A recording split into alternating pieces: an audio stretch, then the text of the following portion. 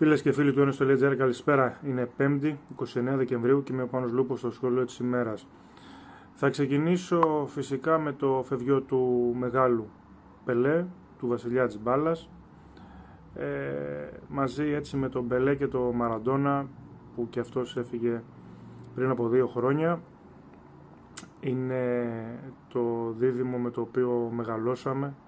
Τον Πελέ δεν τον προλάβαμε να τον δούμε, εμείς οι 40 συν είδαμε το Μαραντόνα, αλλά οπωσδήποτε μαζί τους έφυγε και ένα πολύ μεγάλο κομμάτι των παιδικών μας αναμνήσεων και όλης αυτής της κόντρας που υπήρχε τότε για το ποιος είναι καλύτερος, Πελέ ή Μαραντόνα. Ήταν το κυρίαρχο ερώτημα στην 20 ετία 82.000 ενώ την νεότερη, την τελευταία 20 ετία υπήρχε φυσικά το Μέση ή Ρονάλντο. Ε, εν πάση περιπτώσει, ο ένας βασιλιάς, ο Πελέ, πάει να συναντήσει τον άλλον, τον μεγάλο Ντιέγκο Μαραντόνα ε, και πραγματικά ήταν πολύ τυχεροί όσοι πρόλαβαν και τους απίλαυσαν όταν ε, έκαναν τα μαγικά τους μέσα στα γήπεδα. Από εκεί και πέρα, ε, μαγεμένοι είμαστε και εμείς που πήγαμε στο Βόλο, νομίζω και όσοι το ήταν φυσικά από την τηλεόραση, αυτή την παράσταση που έδωσε η ομάδα του Αλμέδα, μία ακόμα παράσταση, μία ακόμα επιβλητική νίκη με κυριαρχικό ποδόσφαιρο από την ΑΕΚ. Εντάξει, νομίζω ότι και να συζητάμε πλέον για το ποια ομάδα αποδίδει το καλύτερο ποδόσφαιρο στην Ελλάδα. Ε, κάπου πρέπει να εθελοτυφλείς για να μην το βλέπεις. Ήταν φανερό ε, και πριν το Μοντιάλ, από την πέμπτη αγωνιστή και μετά και συγκεκριμένα το μάτς με τον Πανατολικό στο Αγρίνιο, η ΑΕΚ από τότε είναι η καλύτερη ομάδα στην Ελλάδα, παίζει το καλύτερο ποδόσφαιρο. Η διαφορά που είχε δημιουργηθεί υπέρ του Παναθηναϊκού είχε δημιουργηθεί τις τέσσερις πρώτες αγωνιστικές που ήταν στο συν 6 με τον τρόπο με τον οποίο έχασε στη Λεωφόρο και με την ήττα εκείνη ε, από τον Βόλο μόνο και μόνο επειδή η ΑΕΚ δεν είχε προλάβει να μπει στο γήπεδό της. Νομίζω ότι καταλαβαίνουν όλοι ότι αν είχε προλάβει να μπει στη Νέα Φιλαδέλφια ξέρουμε όλοι ποιο θα ήταν το αποτέλεσμα.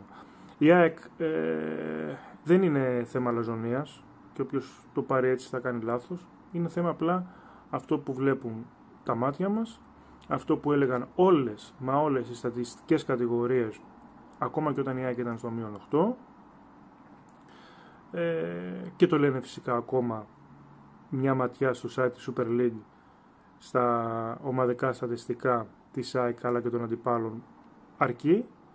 Η ΑΕΚ έχει και την καλύτερη επίθεση και την καλύτερη άμυνα. Είναι πρώτη στις τελικές προσπάθειες με πολύ μεγάλη διαφορά, στις assists, στα γεμίσματα, σε όλες, στα κλεψίματα, παντού. Ε, αυτό βέβαια δεν της εγγυάται ότι θα πάρει το πρωτάθλημα. Σε καμία των περιπτώσεων. Έτσι, να είμαστε ξεκάθαροι. Ούτε κανείς λέει ότι ο Παναθηναϊκός δεν είναι μια πάρα πολύ καλή ομάδα. Πολύ καλά δουλεμένη τακτικά και μάλιστα από πέρυσι με, το, τον προπονητή της. Ε, δεν μπορεί κανένας να το αφαιρέσει αυτό το πλεονέκτημα. Αλλά την καλύτερη μπάλα την παίζει η ΑΕΚ. Επαναλαμβάνω, δεν αρκεί για να πάρεις πρωτάθλημα και φυσικά μιλάμε για αυτή τη στιγμή. Έτσι, υπάρχει πάρα πολλοί δρόμος ακόμα μπροστά μας ε, και για την ΑΕΚ και για όλες τις ομάδες ε, με το δεύτερο γύρο, με τα play-off, με πάρα πολλά μεγάλα παιχνίδια. Αυτή τη στιγμή που μιλάμε όμως η ΑΕΚ είναι σε πολύ καλή κατάσταση ε, ακόμα και όταν έχει 5 και 6 απουσίες παίζει το ίδιο ποδόσφαιρο ε, με την ίδια ένταση. Είχαμε μια ανησυχία τι θα βλέπαμε μετά το Μουντιάλ. Νομίζω έχει πιστοποιηθεί από τα μέχρι τώρα παιχνίδια ότι δεν επηρεάστηκε η ΑΕΚ. Είναι πάρα πολύ σημαντικό αυτό. Ε, και νομίζω ότι έχει όλα εκείνα τα στοιχεία πραγματικά για να το πάει μέχρι τέλους και να διεκδικήσει τον τίτλο. Φυσικά με τους δυνατούς αντιπάλους και εγώ εκτός από τον Παναθηναϊκό βάζω στο κόλπο φυσικά και τον Ολυμπιακό και τον Μπάουκ ε, όλες είναι καλές και δυνατές ομάδες.